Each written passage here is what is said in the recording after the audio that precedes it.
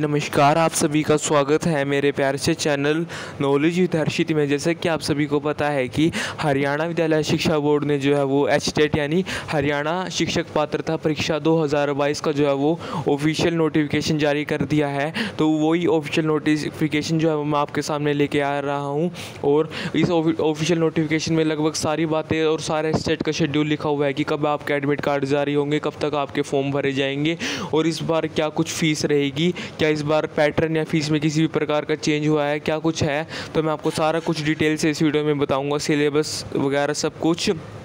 तो आप वीडियो को लास्ट तक बिना स्किप किए हुए ज़रूर देखें। अगर आप चैनल पर पहली बार आए हैं तो चैनल को सब्सक्राइब करें। अगर मैंने जो है वो एस की प्रिपरेशन कैसे करें मात्र पचास दिनों में नाइन्टी मार्क्स कैसे लेके आए उसमें मैंने सारा कुछ डिटेल से एक्सप्लेन किया हुआ है। अगर आपने अभी तक वो वीडियो नहीं देखी है तो उस वीडियो का लिंक मैं, जो है वो डिस्क्रिप्शन बॉक्स में डाल दूँगा। तो आप वो वीडियो भी ज़रूर जो है वॉच आउट कर ले उससे आपको काफ़ी ज़्यादा प्रिपरेशन में हेल्प मिलेगी।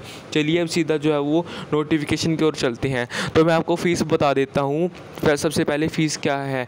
तो जो शेड्यूल कास्ट और जो फ़िज़िकल हैंडीकैप स्टूडेंट हैं, हरियाणा के, उनकी जो है वो फ़ीस पाँच सौ रुपये है, एक लेवल की। बाकी जितने भी ऑल कैटेगरी के स्टूडेंट्स हैं, चाहे वो जनरल हो ओबीसी हो, सबकी जो है वो फ़ीस वो एक हज़ार रुपये है। हाँ जी, अगर दो लेवल के लिए अप्लाई करते हैं तो शेड्यूल कास्ट और फ़िज़िकल हैंडीकैप स्टूडेंट की फ़ीस जो है वो नौ सौ रुपये रहेगी और बाकी सबकी फ़ीस अठारह सौ रुपये है। और अगर तीनों level P G T T तीनों के लिए अप्लाई करते हैं। तो शेड्यूल कास्ट और फ़िज़िकल हैंडीकैप स्टूडेंट की फ़ीस जो है वो बारह सौ और सभी बाकी अदर कास्ट अदर कैटेगरी जितनी भी है उनकी फ़ीस चौबीस सौ रुपये रहेगी। और शेड्यूल कास्ट और फ़िज़िकल हैंडीकैप अगर हरियाणा डोमिसाइल का है, तभी जो है वही छूट मान्य होगी। वरना अगर वो दूसरे स्टेट का है तो उसकी फ़ीस जनरल कैटेगरी के तहत ही एक हज़ार रुपये, अठारह सौ और चौबीस सौ इस प्रकार ही रहेगी। तो ओनली जो हरियाणा के शेड्यूल कास्ट और फ़िज़िकल हैंडीकैप स्टूडेंट है, उनके लिए जो है वो ये छूट अप्लाई एप्लीकेबल है। तो अब मैं बात करता हूँ कि टाइमलाइन की। कब जो है वो फॉर्म भरने स्टार्ट होंगे, कब एडमिट कार्ड आएँगे?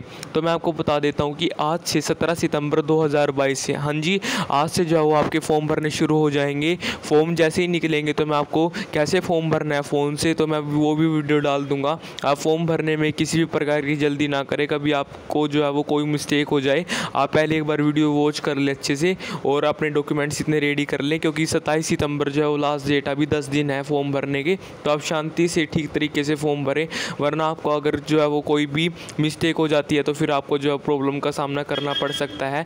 वैसे अगर आपके फॉर्म में कोई मिस्टेक हो, हो जाती है तो 28 से 30 सितंबर तक जो है वो आप उसको करेक्ट कर सकते हैं। जी करेक्शन विंडो जो है वो अट्ठाईस से 30 सितंबर तक हरियाणा बोर्ड खोलेगा।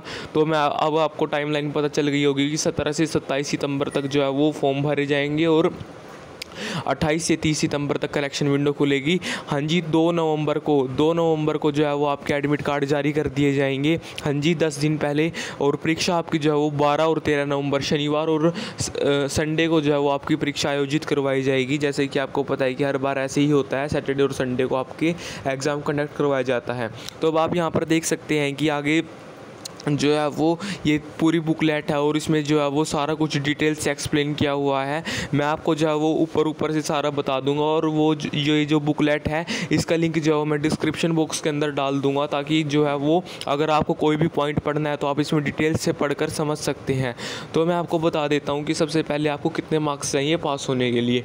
तो पास होने के लिए जो है वो अगर शेड्यूल कास्ट और फ़िज़िकल हैंडीकैप स्टूडेंट है हरियाणा का तो उसको एट्टी मार्क्स चाहिए। हाँ जी, उसको एट्टी मार्क्स चाहिए। चाहिए और बाकी उस सभी कैटेगरी के बच्चों को जो है वो 90 मार्क्स चाहिए। हाँ जी, बाकी सभी कैटेगरी के बच्चों को 90 मार्क्स चाहिए और जो शेड्यूल कास्ट और फ़िज़िकल हैंडीकैप स्टूडेंट है, उसको 82 मार्क्स जो है वो पास होने के लिए चाहिए। अब मैं बात करूँ तो जो पेपर पैटर्न की है पेपर पैटर्न सेम आपका वैसे ही है टी जी टी के लिए, जो हर साल होता है, तीस नंबर की पैडोलॉजी तीस नंबर, पंद्रह नंबर की इंग्लिश पंद्रह नंबर की हिंदी दस नंबर का मैथ दस नंबर की जी के दस नंबर की रीजनिंग और सिक्सटी मार्क्स जो है वो आपके सब्जेक्ट के।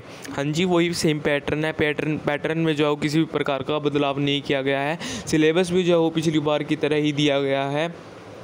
तो और बाकी आपका इंस्ट्रक्शंस भी वही हैं कि इस बार भी फ़ोटो जो है वो वाइट बैकग्राउंड में होनी चाहिए और जो है वो लेफ़्ट हैंड इम्प्रेशन तो आपको जो है वो ये लगभग सारा पता ही होगा। फिर भी, भी जो अभी तो इसमें यही दिया गया है और फॉर्म में शायद अलग भी हो सकते हैं इंस्ट्रक्शंस तो जब फॉर्म आएँगे निकलेंगे तभी पता लगेगा कि किस साइज़ में फ़ोटो और किस साइज़ में जो है वो कौन से बैकग्राउंड में जो है वो फ़ोटो होनी चाहिए। तो वो भी जब फॉर्म आएँगे तो मैं आपको बता दूँगा कि किस प्रकार से आपको फ़ोटो और थम इम्प्रेशन और सिग्नेचर आपको एडजस्ट करने अपने फ़ोन से ही। जो है वो आप इसको क्लिक करके जो है वो अपने फ़ोन से ही आप साइज़ में चेंज भी कर सकते हैं। बाकी जो है वो एग्ज़ामिनेशन सेंटर की बात करें तो आपका पहले की तरह होम डिस्ट्रिक्ट में ही आएगा। कोशिश यही रहेगी कि सबको होम डिस्ट्रिक्ट में जो है वो सेंटर दिया जाए। तो भाई ये कुछ था, सारा कुछ। ये मैंने आपको मेन मेन चीज़ सारी बता दी है। आपको एलिजिबिलिटी तो सारों को पता ही होगी।